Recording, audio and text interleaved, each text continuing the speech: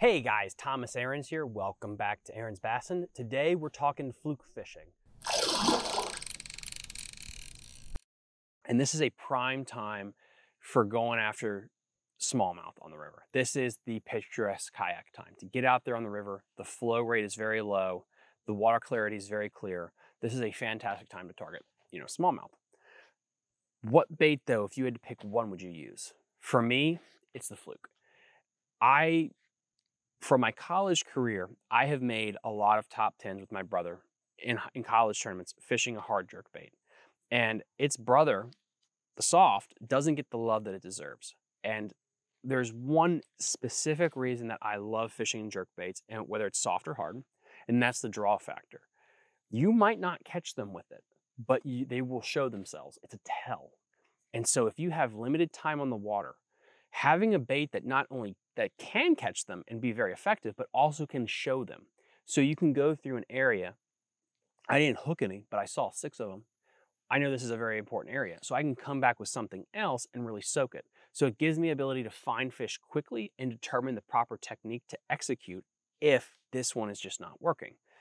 And that's, that goes true whether it's hard or the soft. So why the soft versus the hard? With our river systems, the flow is extremely low.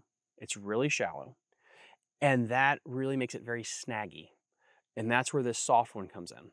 You can fish this on the grass, the grass mats that we have on the rivers. You can fish this under trees. You can skip it under overhanging brush. You can fish it a lot of places that is very dicey to throw the hard version, but yet you have the drawing power. And that's what I love so much about the jerkbait. The one tip I'll give you though is people like to go with the bigger brother, the five inch jerkbait. I think that's a mistake when you begin at first for the day. Okay, and here's why. A lot of our rivers have they have fantastic smallmouth, but they don't necessarily have a mass quantity of those three and four pound ones. And this this five is fantastic, and you'll catch small ones on it. Don't get me wrong. But the junior, you're going to catch any predatory fish that swims in that river. Period, bar none.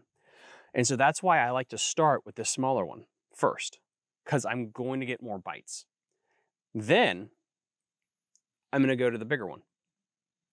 So what I'll first do is I'm going to work through an area to see if there's anything around. I'm going to hit with this small one first, and then I'm going to rotate to the bigger one here. Okay.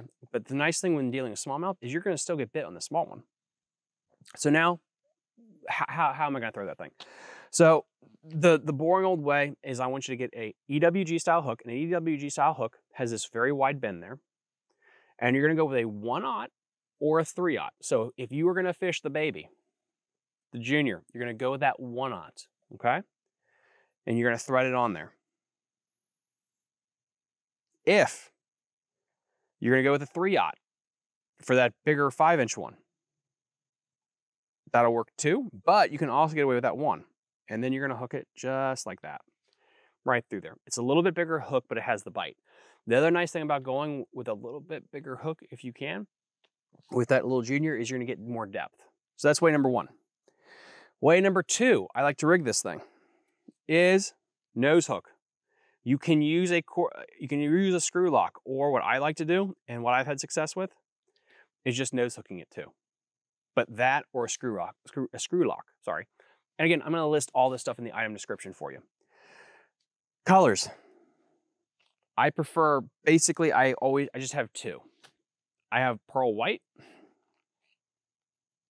and I have green pumpkin.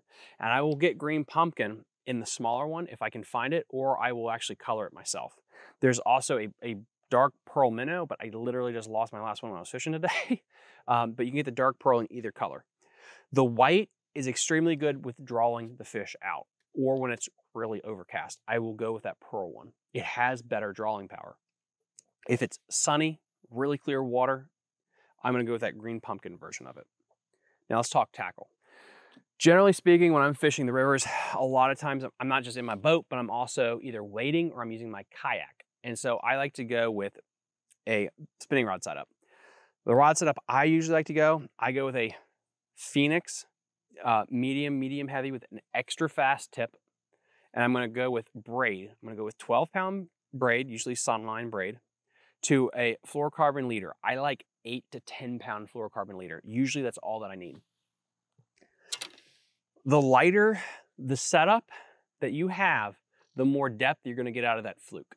So if I go down to eight, let's say, I'm gonna get more depth than if I wanna crank up to 16. Always keep that in mind. If you wanna keep that bait higher in the column with a slow retrieve, increase the size of your leader material. And sometimes if you want, go to fluor, go to monofilament, I'm sorry, versus fluorocarbon, because that'll actually help with that. The other thing you can do is if you want to get more depth, of course, is go down to like eight. Technique wise, what I'm going to do with this thing is just your standard pause, pause, pause, whack, whack, whack, pause, whack, whack, whack with that rod tip. And you can adjust it up or down. The other variant you can do with this, if they're short striking it, you can go with a treble hook. Okay, you can use a pop rivet technique, and we're gonna have another video about that specifically, where you thread a treble hook through the bait. That's a last resort for me. And here's why. You will kill a lot of smallmouth with it. Um, I, I used to fish that with a swim bait, a pop rivet. The problem with that, when you thread that treble hook in there, is you're gonna get more of those swipers. The problem is, is when they inhale it, it is very hard to get that hook out. It's possible, but you're gonna kill some fish.